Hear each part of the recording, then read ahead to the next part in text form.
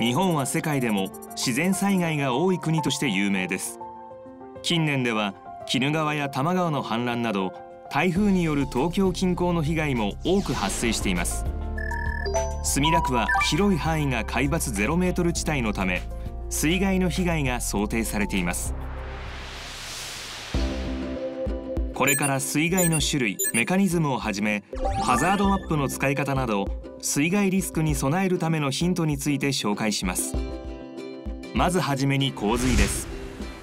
洪水は大雨によって川の水が増え水かさが上がり始め堤防のいっぱいまで水が増すと堤防を越え始めます。堤防を越えた水が溢れ出し一気に広がり勢いよく流れ出し家などに襲いかかります。高潮は台風などが通過する際に海の水位が上昇する現象です。主な原因の一つは中心付近の気圧が周辺より低いため海面が吸い上げられるように上昇する吸い上げ効果。もう一つは沖から吹きつける強風によって海水が吹き寄せられ海岸近くの海面が上昇する吹き寄せ効果。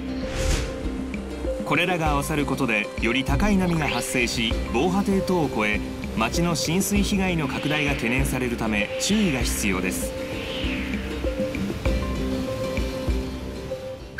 雨水出水は都市型水害や内水氾濫とも呼ばれ一時的に大量の雨が降ることにより下水道などが雨水を排水できないことで発生します。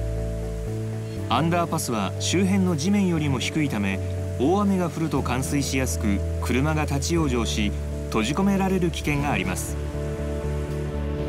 地下空間では地上で冠水すると水が流れ込みます。浸水すると水圧でドアが開かなくなったり停電になると避難が困難になります。自分が住む家やその周辺にどのような水害のリスクがあるかを知ることが必要です。そのために活用したいのが水害ハザードマップです。この水害ハザードマップでは3種類の水害ごとの被害想定を地図から見ることができます。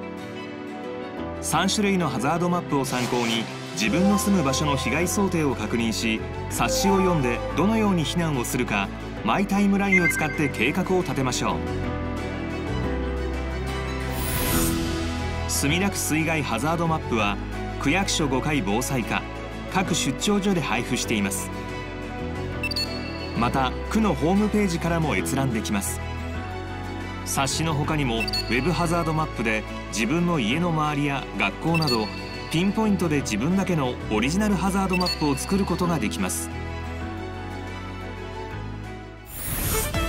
洪水や高潮は地震と違い予測ができる災害です。天気予報など情報を収集し被害を最小限に抑えるために行動計画を立て実行することが大切です。安全安心な未来に向け皆様と共に防災減災を目指します。墨田区水害ハザードマップを防災の行動力向上にお役立てください。